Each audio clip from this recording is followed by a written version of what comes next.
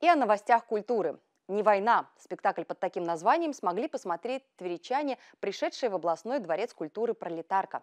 Особенность постановки в том, что ее авторами стали на первый взгляд абсолютно разные люди. Прозаик, актер и всенародоизвестный шоумен, а также офицер легендарного спецподразделения «Альфа». Через полтора месяца свой юбилей отметит, наверное, самое известное в России спецподразделение. Группе «Альфа» 29 июля исполнится ровно 50 лет. Многие годы в нем служил Алексей Филатов. Выйдя в отставку, начал писать книги. По одной из них, под названием «Не война», и был поставлен этот спектакль. Книга, она посвящена реальному герою, который, кстати, сейчас жив.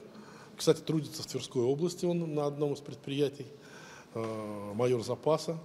Вот. И, в принципе, о его таком непростом жизненном пути, как он попал в Альфу, какие он испытывал трудности на разных, в общем-то, жизненных каких-то ипостасях.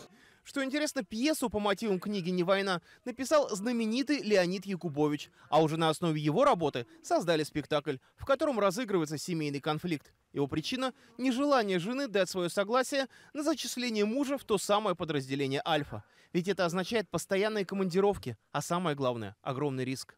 Без ее согласия его в Альфу не возьмут. То есть по всем параметрам он проходит, как, как человек, как качества всякие мужские. Да? А если жена не согласится, не возьмут. И вот моя задача, как персонажа, убедить ее, чтобы она согласилась. И все, э, генерал приходит, убеждает, я прихожу, убеждаю. В общем, все так похоже на сцену из легендарного фильма «Офицеры», где жена сначала отказывается ехать с мужем на очередное место службы, но потом меняет свое решение. Потому что понимает, есть такая профессия – родину защищать. Чем ровно полвека занимается спецподразделение «Альфа», про которое уже и книги написаны, а вот теперь и спектакли ставятся.